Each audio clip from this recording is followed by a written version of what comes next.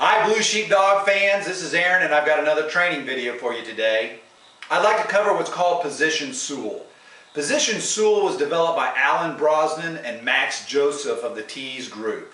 Now Tees used to be called the Tactical Explosives Entry School and when Alan retired and sold the company in 2005 it became Olive Security and now it is back to being called Tees but under the name Tactical Energetic Entry Systems. They're based out of Memphis, Tennessee, and they provide a wide range of breaching and tactical training. Uh, the cadre of instructors has a vast amount of experience in military special forces or law enforcement tactical teams. Now, Sul is the Brazilian or Portuguese word for south. And what had happened is Alan and Max got invited to come down to Brazil to train some of their officers on firearm skills and tactical skills uh, for the challenges that they were facing. Uh, unfortunately, when they got down there, Alan and Max realized that these Brazilian officers were uh, a complete mess. I mean, their officer safety skills were horrendous. They were moving with their trigger finger on the trigger. Uh, they were lasering their partners. They had no muzzle control, and they had to start from the basics. And what they developed was called Position Sul. Now before I get into Position Sul, I want to talk about the low ready position. Now I want to make sure that everybody knows that I'm not saying that low ready position is not a viable technique. It absolutely is. I still use it. I believe in it. Um, yet there are some limitations that I think Position Sul uh, provides a better alternative to. Now, low ready position. So I've got my training firearm in my holster. Most firearms instructors teach some manner of when you're going to present your firearm to the target that you withdraw your firearm and you punch out. So I withdraw, punch out into a shooting position, my arms are locked, my hands are secure on the firearm, and I'm looking down my sights to get a good target uh, and sight picture. Now, low ready is, okay, the immediate threat is no longer there. I need to scan my surroundings. So I'm going to bring the firearm out of the sight picture to give myself a greater uh, scope of vision to determine what is going on around me. Now, depending on where you are in the country, depends on what low ready means. I've seen everything from low ready being just off sight, off of uh, looking through your sights. I'm looking through my sights here and coming down, that being a low ready. All right, and I've seen it all the way down to where you're pointing at the ground and everywhere in between. So that low ready really is area and department agency um, defined. Now, um, some of the disadvantages of low ready are obviously the lower you get your firearm, the more tracking you have to do to get back on target. So if your agency says that this is low ready or this is low ready, and an immediate threat presents itself, I've got to swing my arms back up. And I know you may think, well, that's no big deal. I just swing it back up. But anybody who's ever hunted uh, birds or moving uh, animals or, or tried to shoot moving targets realizes that the movement of the body in trying to track the target creates basically a, an over tracking. So uh, you, you try to come up, you got, you got to think about this, an immediate threat. Some guy just stepped around the corner pointing a gun at me. I want to put rounds down range on him.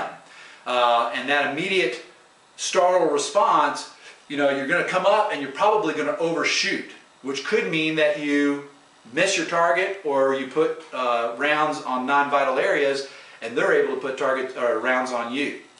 Uh, so that's a disadvantage of the low ready position. Again, it is a viable position. Uh, it has some limitations. Another limitation of low ready is movement. You know, obviously if I'm out here and now I need to move, whether I'm just moving down a hallway, you know, nice and secure, you know, I'm still getting a little play with that gun. My muzzle is pointed in a downrange manner. It's not directly downrange, but it is still downrange, and there is the potential that I'm going to uh, have a, a, a, muzzle violation. You know, I'm going to laser my buddy, uh, laser an innocent civilian, and it's less control to move. If I'm running, you know, I get out of the car, the threat's not here, but I need to have my firearm out. The threat is downrange. I need to move to that threat quickly and I'm out here trying to run, you're going to get a lot more. And actually, you're going to get a lot more up in this low ready as you start to go, okay? And that's going to create a, a serious problem for us. So position Sul helps to give an alternative to those types of situations that I believe is a little bit more safer. All right, so from the holster, I present my firearm, punch out into a shooting position, and now I realize that I need to scan, my immediate threat's not there, I need to bring my weapon towards my body. I'm going to use my thumbs as a pivot point. As I bring my arms back towards my body, I contact my thumbs, I rotate the firearm down until I come into contact with my body with my support hand. So now I have three positive contact points. I have my thumbs in contact with each other, I have the palm of my support hand against my body, and I have my firearm in contact with the backside of my support hand. I know where my firearm is, I know where it's pointing uh, because of those three contact points. I can look around, I can move, and I'm going to maintain that position. And it's going to be pointed down between my legs. Now one thing you do have to be careful with, you have to watch officers if you decide to use this technique, is there is a slight bend to the shooting hand, wrist. And the reason for that is to maintain the muzzle pointed directly down.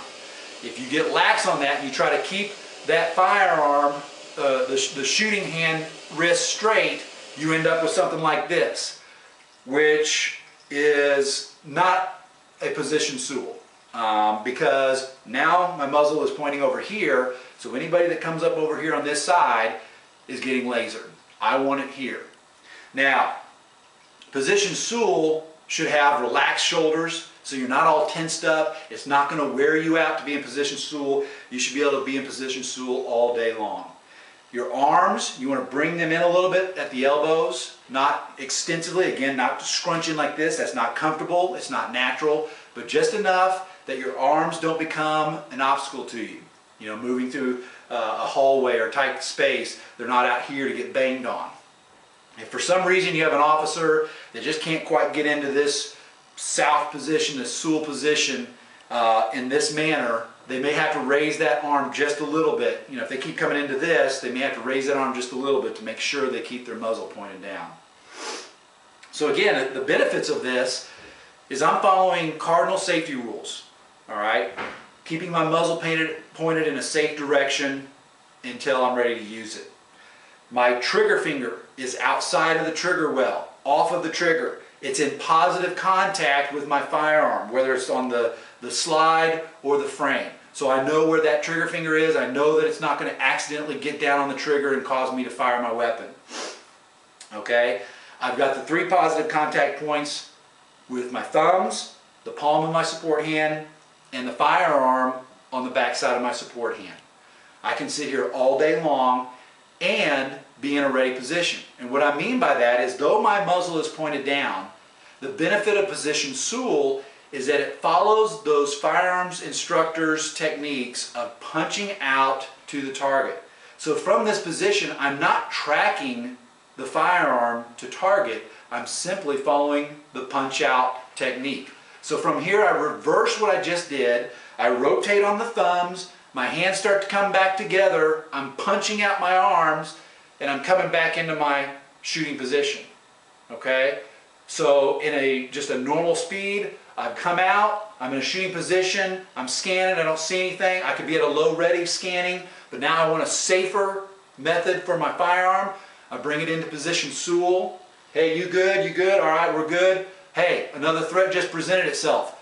Punch out, and I'm right on my sights again. It's that quick, there's no tracking, and it goes right into what we've already been trained for probably hundreds or thousands of times on the range. Bring it back in, punch out. Now there is a modified Sul. Some people don't like the thumbs touching for whatever reason. It's not as comfortable to them. They want to maintain a greater grip on their uh, firearm and so they'll continue to have the thumb of the shooting hand wrapped around the firearm. I think that's an acceptable alternative. Uh, yes, you lose one contact point, but you still have your support hand against your body. You still have your firearm uh, resting on the backside of your support hand. And as long as they're continuing to, to slightly bend the shooting wrist, then it should keep that firearm pointed down. So again, this is position Sul. I think it is a very viable technique for having your firearm out and in a safe position while providing you a great opportunity to come onto target without tracking errors and following what you've already been trained with the punch out technique. So again, from here, from position Sul, you can punch out, you're in your shooting stance, you come back to position Sul. If I need to look, I can look. If I need to step into something, I can step to turn, and my firearm is, is maintaining that safe position of position Sul. If I'm moving, it is staying in that position. I think it's a great uh, alternative to a low ready position, which is viable and is an absolutely great technique in some circumstances. It just gives me another method of doing business and doing it safely. So again, this is Aaron, and this has been Position Sul. I hope you enjoy it and try it out.